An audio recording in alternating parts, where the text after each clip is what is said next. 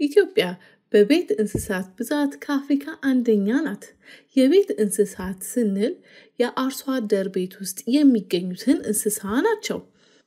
እነ ዶሮ፣ ከብቶች፣ በጎች፣ ፍየሎች፣ ግመሎች፣ አህዮች፣ ፈረሶች፣ በቅሎችን ያካትታሉ።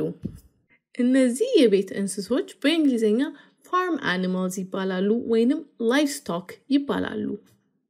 እንደ አውሮፓውያን አቆጣጠር በ2020 ዓመተ ምህረት በኢትዮጵያ ውስጥ 65 ሚሊዮን ከብቶች፣ ወደ 51 ሚሊዮን ፍየሎች፣ ወደ 49 ሚሊዮን ዶሮዎች፣ ወደ 40 ሚሊዮን በጎች እና ወደ 8 ሚሊዮን ግመሎች በመላው ኢትዮጵያ ውስጥ ይገኛሉ ተብሎ ተገምቷል። የሰው ልጅ ለምግብነትና ለተለያዩ ጥቅሞች የተለያዩ እንስሳትን ያረባል። የተለያዩ ጥቅሞች የምንላቸው የሚከተሉት ናቸው። የግብርና ስራን ለመርዳት እነዚህ ቤት እንስሶች በጣም ይጠቅማሉ። ለምሳሌ እርሻን ለማረስ አርሶ አደር ከብቶችን ይጠቀማሉ። ማረስ በእንግሊዝኛ plowing ይባላል። እህልም ለመውቃት ከብቶች ይጠቀማሉ። ይህም ሂደት threshing crop ይባላል።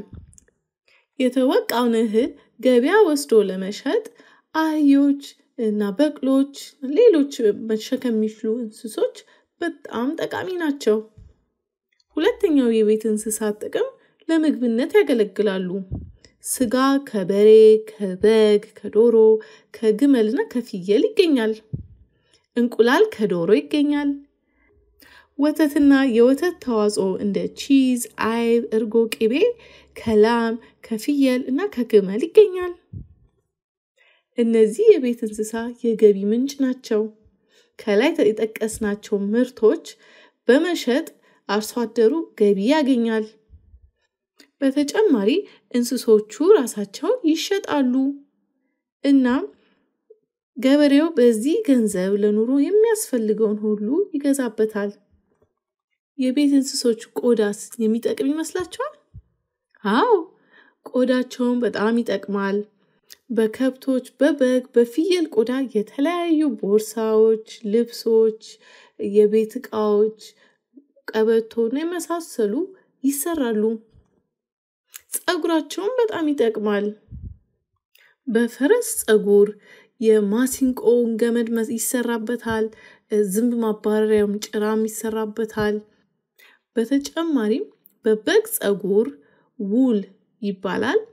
የተለያዩ ልብሶች፣ ምንጣፎች እና በጣም ሙቀት የሚሰጥ ብርድ ልብስ መስራት ይቻላል። የዶሮ ገለባም ጥቅም አለው። ትራስ ውስጥ የዶሮ ገለባ ይደረጋል እና በጣም ለስላሳና ምቹ ትራስ ይሰጣል። እበትስ ተፈላጊነት ያለው ይመስላችኋል? አዎ፣ እበትም ብዙ ጥቅሞች አሉት። እበት በእንግሊዝኛ ዳንግ ነው የሚባለው እና የተፈጥሮ ማዳበሪያ ሆኖ ያገለግላል። ይህ ተፈጥሮ ማዳበሪያ ምኑር ይባላል። እናም ለአፈሩና ለሚበቅለው እህል በጣም ጠቃሚ የሆኑ ንጥረ ነገሮችን ያበረክታል። በተጨማሪ ዳንግ ወይም እበት የጭቃ ቤቶችን ለመስራት ከጭቃ ጋር ተቀላቅሎ ቤቱን እንደ ሲሚንቶ ያገለግላል። ጭቃውንና እንጨቱን እንደ ሲሚንቶ የመለጠፍ ባህሪ አለው። እበት ሲነድም አይታችሁ ይሆናል። አዎ እበት ጥሩ ስለሚነድ የኃይል ምንጭም ነው ወይንም ፊውል ነው።